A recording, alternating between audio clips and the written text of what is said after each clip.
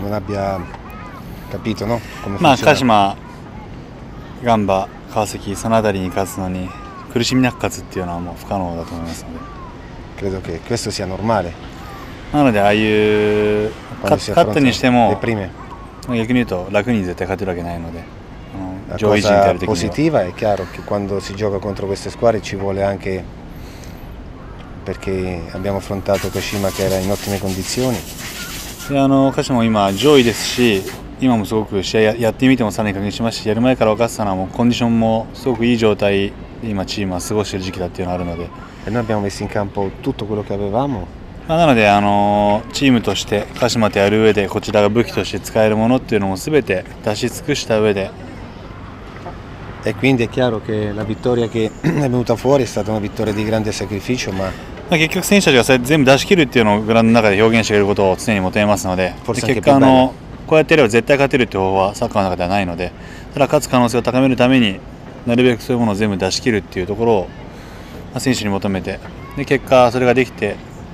勝つこともできたのでまあ楽ではなかったですけど良かったんじゃないですかね。Mm, まあ、2、3個リスクを犯したところ、リスキーなシーンはあったんですけれども、ああいうところはなければより良かったんですけれども、向こうの得点になってもおかしくなかったので、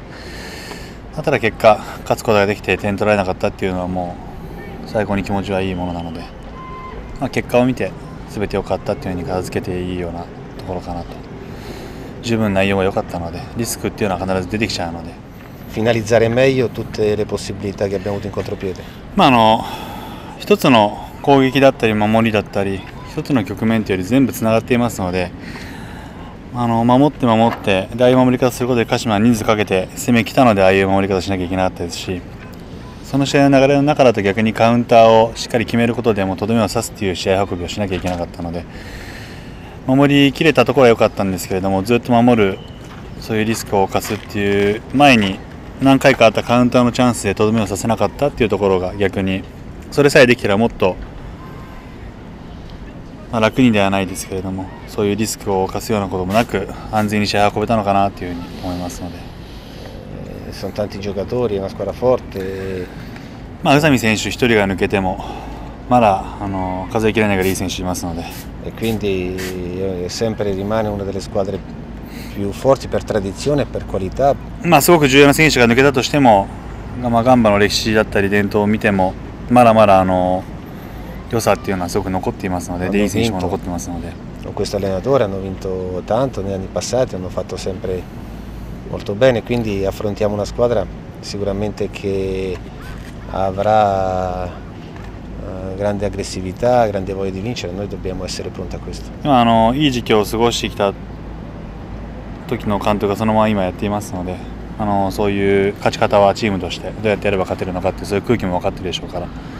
やり方とそういう雰囲気とか分かるチームなので、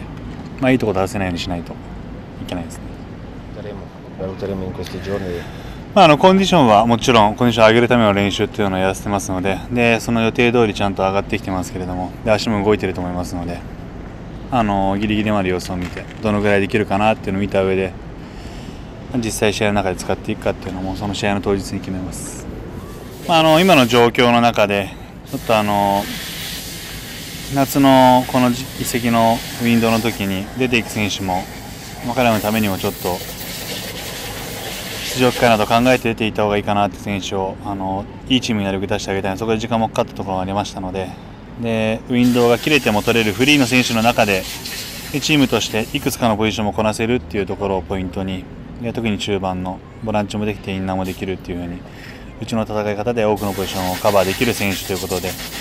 そういう特徴を持っている選手だというふうに判断してあの獲得しましたのでまた彼もコンディションもまず整えることからやってなるべく早くチームに溶け込んでくれたらなって思ってます。Ok? arigato